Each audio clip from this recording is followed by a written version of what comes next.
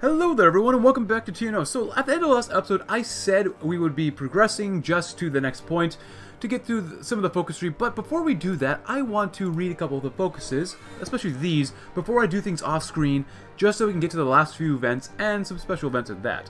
So it's time to speak softly. The Germans and Japanese must be made to understand that America does not hide behind the moat of the Atlantic and the Pacific Oceans. American submarines hide in vast oceans, bringing nuclear annihilation to the very doorstep of our enemies and should the Japanese or Germans sweep the seas clean, they will find American bombers and missiles waiting to strike beyond the range of their precious navies.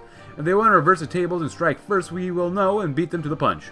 America can and will win a nuclear war. The sooner Japan and Germany realize that, they realize that the folly of continuing the arms race and come to the table to seek a new accommodation.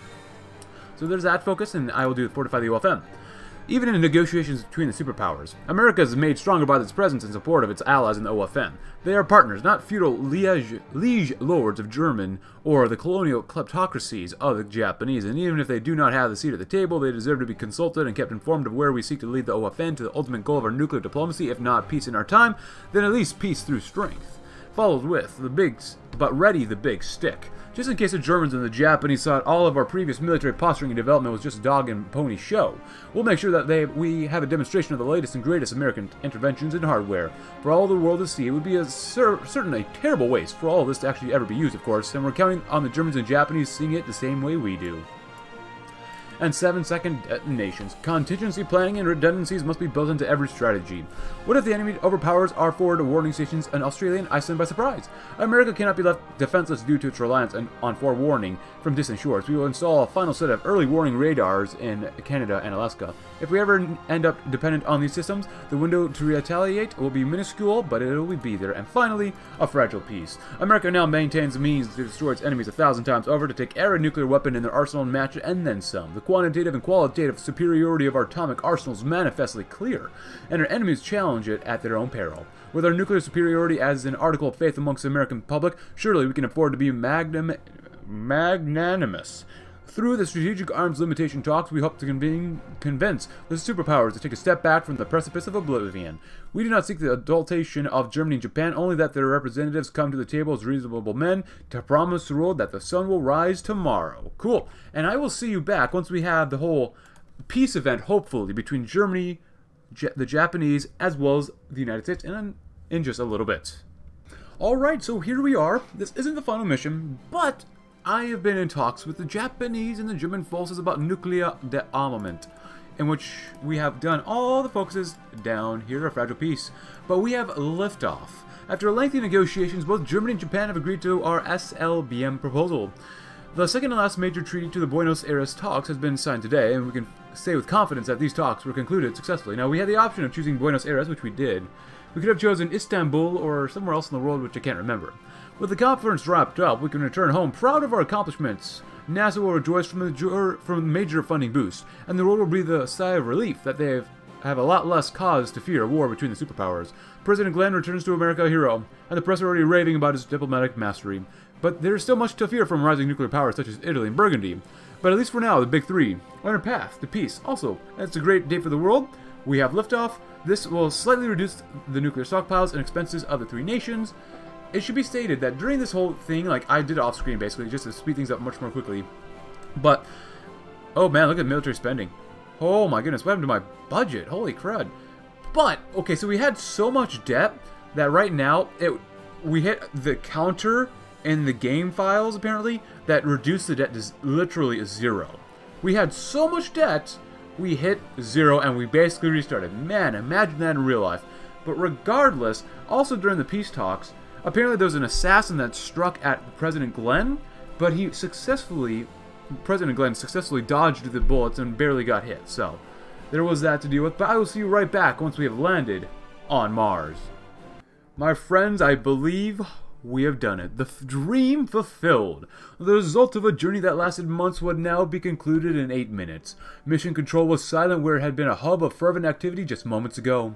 They completed their task. The rest was in the hands of the astronauts. In just 8 minutes, the world would know of Ares 4 would be a tremendous victory or a terrible tragedy. Sometime, the most defining part of a person's life lasts only a few moments. Neil Armstrong, commander of the Ares 4, knew full well that these would be the most important moments of his life. Parachutes deployed. David Crossman continued to monitor the lander's altitude. Armstrong's hand trembled as he engaged the decisive retro rockets and prepared for final approach. Despite the furious shaking of the cabin, both men took a moment to take in the view. The Melas Chasma had been a quiet beauty to it, a landscape of deep grooves and red sand. We're here, really, aren't we? Cross posed, opposed, not moving his hands an inch from his control panel. We really are. Armstrong affirmed his grip on the joystick and took them in. Neil Armstrong descended from the lander and became the first human to set foot onto a new world. From our earliest days, mankind has looked up and dreamed of, of walking amongst the stars. Today, that dream has been fulfilled. After this, the streets had erupted into beautiful chaos. Traffic halted as people crowded the roads. Firework detonations had become near constant. The moon landed, or moon landing, had ensured America's spot within the space race. Landing on Mars had reinvigorated the American spirit. The future was finally looking bright. From within NASA's mission control, John Glenn stood. Cheers erupted as the landing was confirmed. Glenn watched the man on Mars, smiled, and began to cry. President Glenn's mood matched the nation's as he sat behind his desk. Glenn smiled as, as the address started. To the many people of the world, to my fellow Americans today, we've achieved the impossible. One small step for man.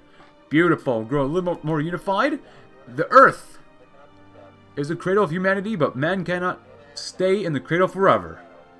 The journey begins.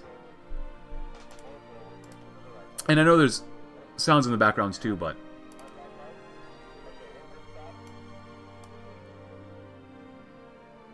Cool. The Eagles landed. We have dared to attempt the impossible now. Thanks to the tireless work by NASA and the Glenn administration, we have done it. For the first time in human history, a man has stepped upon the surface of another world and returned safely to our soil. The nation is effectively shut down, with riotous celebrations held across the country and a tape ticker tape parade held for the crew of Ares 4 in New York City. Calls of congratulations have come from leaders across the world, including everyone from our allies in the OFN to the Prime Minister of Japan. The flight crew has described themselves as the happiest men on the Earth, or on the planet, but the White House staff knows better. The happiest man in the world sits in the Oval Office, half listening to the terse congratulations of the Fuhrer basking in America's greatest triumph of the century. More political power, stability, war support, political power gain, and just stuff. Everything grows a little bit more unified despite the oil crisis that is still gripping the nation. Wow, look at that. 43% of global democracy. That's a lot more than I expected. And do we get an event after this, maybe? Maybe, maybe, maybe not? The Eagle has landed. And you know what? Technically, we can still do focuses regarding the Iranian stuff, or... Is this Saudi Arabia, the New Republic? Eh, it doesn't really matter.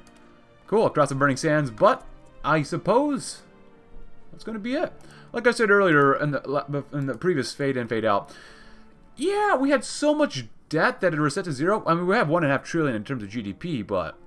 And I did cut off the Marines. All we have left are the airborne divisions, which is kind of weird. You know what? Screw it. You know what? Let's delete that. See what happens.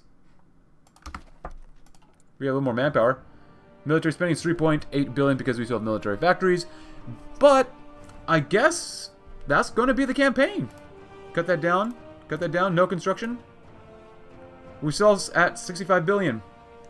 Regardless, this has been one heck of an inter interesting campaign, but my goodness has it been long. And I can and we can definitely see where the devs had to cut content and just had to wrap things up before TNO was able to be released. But regardless, regardless of that fact, I hope you enjoyed the RFK run, two terms to Henry Jackson, as well as the RFK to Glenn run hopefully in the future Glenn is going to get maybe a little bit more content or something like that. Just see to wrap things up a little bit more succinctly. But regardless, I still enjoyed it. And maybe I'll come back to Glenn someday. I hope so. But like I said, hope you enjoyed it. If you did, consider leaving a like for the entire campaign. Subscribe if you're new. And thank you to everyone who's already liked and subscribed already. Check out my Discord link if you haven't already. And if you have, thank you very much. And I will see you all in another campaign in the future. Thanks for watching, and you have a tremendous, tremendous rest of your day.